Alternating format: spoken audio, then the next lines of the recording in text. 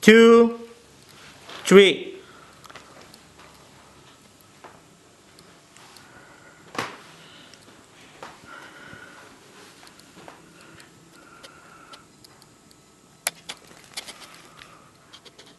Genki? Ladies and gentlemen, every day we come up to our beautiful dining hall and are met with magnificently prepared various types of dishes, all which are accustomed according to our taste. We all eat, we enjoy food, but do we really appreciate it? Can it be that we take things that are around us for granted?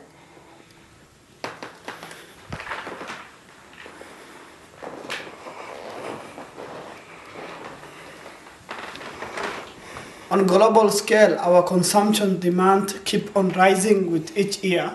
However, we, while we are always looking and asking for more, we tend to throw away things with such an ease that we don't not even question it. Quantity over quality, pollution, CO2 emission, all of those have been brought to us due to our instability, hunger for more.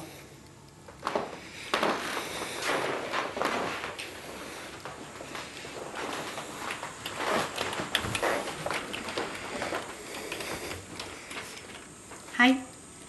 Millions of people in the world don't have enough to eat and alarmingly hunger kills more people every year than AIDS, malaria and tuberculosis combined. Therefore, after nearly four months of having amazing buffets every day at Krogerup, we were faced with the challenge of radically changing our diets at the Ecotopia village in Tomelilla, the outskirts of Sweden.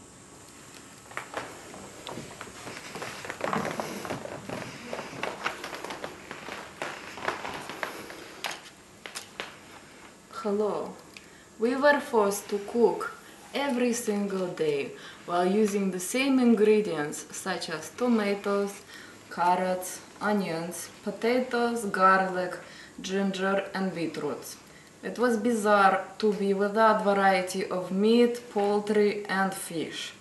Nonetheless, we have surprised ourselves and managed to prepare and create four very different and deliciously incredible dishes of tomato carrot soup, rice with tomato carrot sauce, pasta with tomato carrot sauce,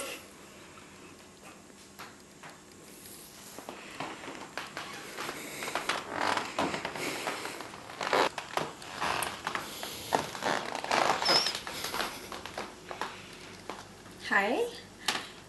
In particular, one dish was so wonderfully different and super awakening of task buds with massive amount of ginger. Mmm, yummy!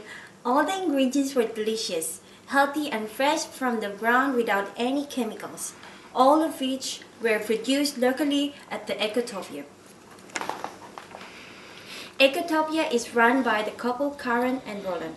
Karen is a vegetarian. However, Roland is not and needs his chunk of meat. His main resource of the meat comes from roadkill. You probably all know what roadkills are. It is animals killed on the road. This gave us an idea for these lovely comics.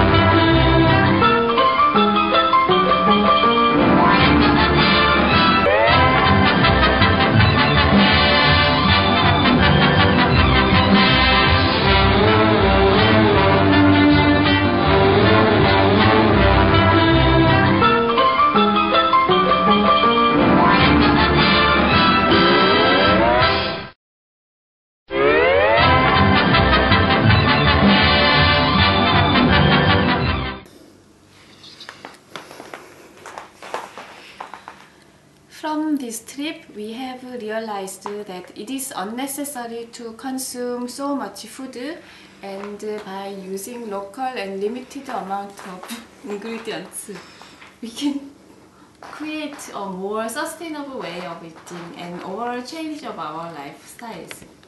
You can simply start by purchasing not too much food to reduce the food waste and to have a nice slim body.